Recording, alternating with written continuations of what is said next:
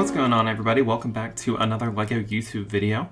In today's YouTube video, I figured we would go ahead and take a look at the three different LEGO Batcaves that I have in my collection. We'll be taking a look at the 2012 iteration, the 2021 iteration, and the most recent version of the Batcave, which is the Batcave Shadow Box that came out earlier this year. Today we're going to be doing quick little overviews of each set, and basically we're going to be seeing how the Batcave has evolved in LEGO over the past 10 years. So, of course, I'm only looking at the, three I have. I know there have been other Batcaves released in between that time period, but let's just go ahead and get straight into the first set, which is the 2012 version. Alright, and the first Batcave that we are going to be taking a look at is probably the most nostalgic Batcave for me, and I would imagine a lot of you all too. It is the 2012 Batcave set. It is uh, it has 690 pieces and it originally retailed for $70 in the United States. There's two side builds, and the first one we'll look at is the drill that Bane has to actually break into the Batcave. It's a very simple build. You can see some exposed wire stickers on both sides of his drill, which look pretty good, but they are kind of simple. The actual drill itself is very small, though I think it does look good for the size. Also, there are flick missiles on both sides of the drill, which are used to be a standard back then, but you don't really see the flick missiles too much today. And then there is a cool play feature where if you move the drill, the actual like like drill part, so the front actually moves. And then we also have this bat bike. And the bat bike is very simple. It's got a few stickers on it, and it's a very, very simple design. It doesn't take up a lot of pieces at all. Of course, you can fit Batman on side on top of the uh, bat bike very easily, and there are flick missiles on each side. But now that we have our side builds out of the way, let's just go ahead and get into the main Batcave. And it is divided into two different sections and they're connected through this bridge that connects the two. And it's very simple to remove this bridge and you can separate each part of the Batcave to get a closer look at it.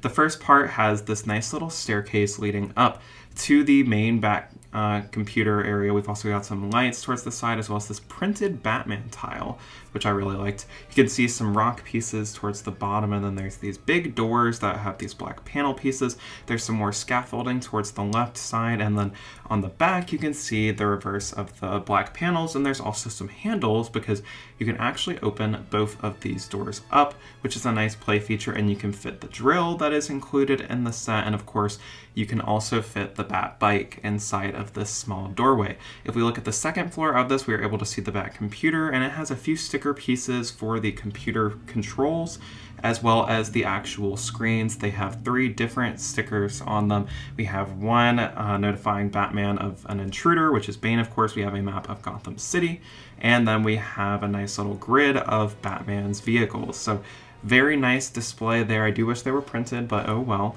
And this is a uh, rotating chair too. It's a very simple design, but it still looks good. We also have these two turrets on the side, and they have flick missiles, and it has a sticker piece.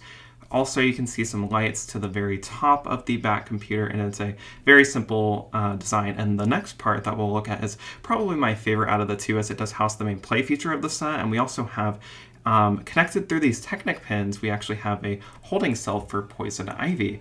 And there are some stickers up on the front of it. We've got an alert as well as the holding uh, cell sticker. And then we've got the main door, which is held together with lightsaber pins, which look really nice. And then Inside, there's not a lot of space, but you definitely could fit a few minifigures in there if you wanted to. If we look at the outside, we're able to see another sticker piece, which is scanning Poison Ivy, and then the other sides of the cell just have various plants and wildlife as Poison Ivy is kind of taking control of the cell, I guess, and you can easily attach it back to the other part, and what we'll look at next is the second floor, and on the second floor we have this nice little compartment that has some storage space for some batarangs as well as some handcuffs, and it's got a nice back gear sticker the side has some transparent blue pieces, and we do get this sticker piece of uh, Batman's suit. And the top, we have a small little facade of Wayne Manor with this telephone and a small little platform, and there's an elevator down here. And what this does, if you put the Batman minifigure included on the bottom here, and if you put Bruce Wayne on the top, if you pull back this Technic pin, there is a really cool play feature that is probably one of my favorites in any Batcave. It's very quick, but it switches Bruce Wayne into Batman almost instantly. It's a very interesting play feature, and I don't think we've seen anything like this in any other Batcave. as you can see, uh, Bruce Wayne is just trapped inside of there and it just swaps out the minifigures. But very good design. I have a ton of nostalgia for this set, and I think what this set does the best out of all the Batcaves is, in my opinion, it has the best minifigure selection. You get a really detailed Poison Ivy minifigure, you get Bane, Robin, Batman, and Bruce Wayne, and overall, I think this set is amazing. Right now, it only costs about $90 on the aftermarket, so I think this is a great set. It definitely isn't as good as some of the newer iterations. You can definitely see where this has aged, but it's a solid version of the Batcave nonetheless. So let's get into the 2021 version.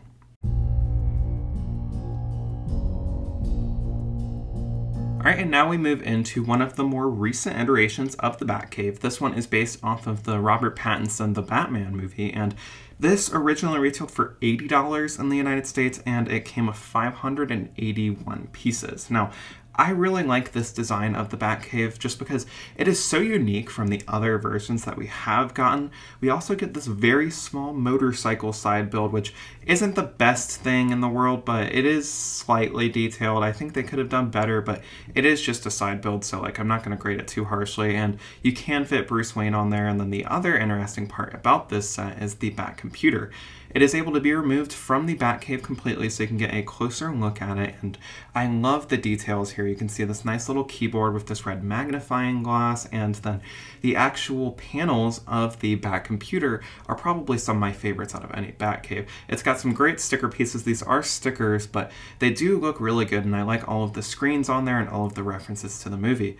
Also, there is a swivel chair right here, though it is a very simple design. It is literally just the basic chair element, so I feel like they could have done a better job with that, but Moving on, there is a really cool play feature with this red magnifying glass. It lets you kind of, if you get these three paper pieces that they include in the set, if you put the red magnifying glass over it, you can actually reveal some secret messages from the Riddler, which I thought was a very unique play feature, and it's unlike anything I've seen in a LEGO set recently. And then moving on to some other aspects of the Batcave, we have this map of Gotham City, and we can see kind of a trail of the Riddler's clues on here, which I thought was great. Also, there is a small little compartment right here which holds some bat gear, and this is able to fold into the Batcave if you're trying to have a more compact display. There's also another little laptop off to the side here, and you can see some lamp posts and some stairs leading up to this main bridge. I think this looks really cool. It has a sticker piece with the Wayne Terminus, and it has a clock piece as well. Very simple design, but I do like it a lot. You can fit a few minifigures on top of here, and then from here you can see some stairs leading down, and we actually see a prison cell. It's not as cool as the one from the 2012 one, but it is still nice. You can fit the Riddler inside of there, and you can also open this up to easily access the inside of it. Also worth mentioning, there is a small doorway on the other side of the Batcave, and then now that we're back on this side, you can see a small serving table and some more lamps, and then we also have this big tool rack right here. There's also some welding tools off to the side, and just like the other side of this, you are able to push this in if you do want a more compact display. The minifigures in this set are also amazing. The only reason I like the 2012 ones more is because of nostalgia, but the selection you get here is amazing. You get Catwoman, Lieutenant Gordon, Alfred, Batman, Bruce Wayne, and the Riddler. Each minifigure is great. I think they are all very detailed and Overall, I really like this set. It was a great deal at the time. I think you can still find it at a few stores. I think Barnes & Noble might still have it. I've seen it there a few times, but what really stands out about this design is just the unique color scheme and the unique design to it. This is a very different take on the Batcave, so I think even if you have some of the other ones, it's still a great addition to your collection, and it remains one of my favorite Batcave designs that they have done. But let's go ahead and get into the most recent iteration of the Batcave.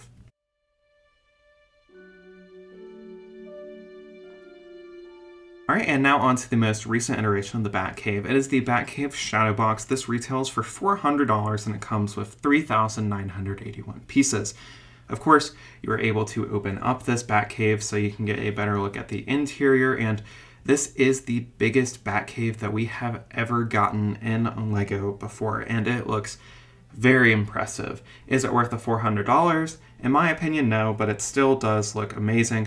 I love all of the rock work and the greebling, and there's just so much detail inside of this set. However, when I look at this, I always think about what could have been, but I'll get into that later. First, let's just talk about the details of the set, and then I'll give kind of my critiques of it later on. So, first off, on this first floor, we're able to see some of these big, ugly rock pieces, as well as some bats hanging from the ceiling. Also, towards the right, we are able to see some tools, and you can see some lights above them, kind of illuminating them a little bit. There's some continued rock work above this, and I really like the use of the Unikitty um, unicorn-like horn pieces. They look really nice to represent some stalagmite and stalactite. We also have this ladder that is supposed to go up to Wayne Manor, though Wayne Manor is not included, unfortunately. But this does bring us into one of my favorite parts of the Bat Cave, which is the uh, Bat computer, and this is actually powered by these Technic pieces on the back. They're these little yellow panels, and you can make Bruce Wayne spin in his chair, and he is, of course, able to go 360 degrees also, you are able to switch the channel on this back computer screen so you can have Catwoman robbing a store, or you can switch it back to Danny DeVito's Penguin right here, broadcasting something. There's also a few other sticker pieces off to the side. There's several panels and other TV screens. All of these are stickers. I really wish they were prints, but that's another debate for another day. Up top here we can see some small holes in the bat cave and I really like this detail. There's some more bats hanging from the ceiling as well. They give you so many of those like little bat pieces and I love that so much. We also have this uh, staircase leading up to the bat suit or one of the bat suits and it's really cool. There is a light brick here as well, so you can kind of illuminate this bat suit, which looks really cool. I love that they included that, and it's kind of got like this drawbridge mechanism where you can move the um, door down and get a better look at the suit inside. Even though the suit itself isn't very cool, I still like that they had it in the set, and I you can also close the drawbridge too. There's also a small staircase leading up to Batman's armory, and this area is very small, but it does look great. There's some rock work underneath it, and then there's a few railways up to the top, or railings so you don't fall. And then we have, of course, Batman's arsenal right here. We've got some batarangs, a grappling hook, and what's really cool is you can open and close the doors via a Technic pin. There's a few hidden rocks behind it if you do decide to display it closed, but if you have it open, you are able to get a better look at the batarangs included. The next section of the Batcave, which is really unique compared to the other versions of it, and one of my favorites is the display for the Batmobile included. You get this really cool pedestal for it. I really like all the tile details, and it is very simple, but it looks very nice on display, in my opinion. And here is what the uh, Batmobile looks like on it. If we take the Batmobile off, you're able to see some of the road plates included, and there are several spotlights across it. And then there's also this door right here with some continued rock work. I really like this brick-built Batman logo that we have inside the wall, and there's some more rocks up top. Also, you are able to open up the door and it can actually hold itself like this, so you don't have to hold it open, which is really nice. And via another Technic panel on the back, you can actually shut the door very easily with just a click of a button. And then here's a look at the Batmobile. This is a almost identical to the set that came out in August, though it does have a few subtle differences, I think. It's a very sleek design and I really like it. It's probably one of my favorite minifigure scale Batmobiles that they have done. I really like all of the greebling and all the details. Towards the back, you can see a thruster, and what's also kind of cool is on the back of the shadow box, there's this panel that lifts up, and you can see this flame element stored inside of it. And if you attach the flame element to the Batmobile, as you move the Batmobile, the fire spins in the back, which I thought was a really cool feature. Also, there's this Technic pin, and if you use this, you can actually launch these machine guns, very similar to how you can with the UCS version of the Batmobile. And I think it gives for a very nice design. You can also remove the top panel here to get a look at the interior. Not much going on there, but it is still there. Also, the other big section of this set is the Batman logo that we see, and of course, as we see with the rest of the set, there are tons of bats hanging from the ceiling. There's tons of rock work. We see more of those kind of Lego Unikitty unicorn horn pieces right here and it looks very good. I like all the depth they do with the rocks and despite using only one color it still looks very detailed and I think this is probably one of the most impressive Batcave sets that they have ever released. It also looks spot on with this Batman logo, very nicely done by the designers, but here we get into the part that I'm more disappointed about. We do get seven minifigures in this set and they're great additions, but none of them have leg printing, and for a $400 set, I would have expected more detail out of these minifigures. And then I'll get into some more of my disappointments too. This set came out close to when the Flash movie came out, and I think it was a huge missed opportunity not to also include minifigures from the Flash. Like we could have gotten the Flash, Supergirl, and some other minifigures like Zod, but they did not include them, which I think is a huge missed opportunity. As great as this set is, I'm always thinking about what it could have been, and I always am disappointed when I think about the possibilities that this set could have been. I saw some other people make the same argument, and this was our opportunity at like this big UCS style Lego Batman themed Daily Bugle set where we get tons of minifigures from the Batman universe and tons of Easter eggs. When you look at the Daily Bugle, it's $50 cheaper and you get 20 more minifigures, and each of those minifigures is way more detailed than the minifigures you get inside of this set, so I'm a bit disappointed. However, when we look at the design of the Batcave, though, I do really like it, and I think it holds up as one of the best Batcaves that we have gotten out of LEGO and it is my favorite that I have in my collection.